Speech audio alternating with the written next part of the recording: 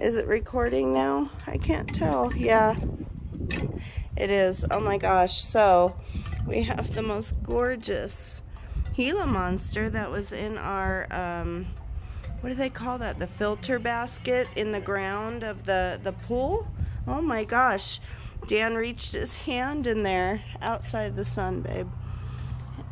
Reached his hand in there. Hold still. I'll do the, the maneuvering here and his face was right on him. Oh my gosh, he's huge. He was just hanging out in the cool water.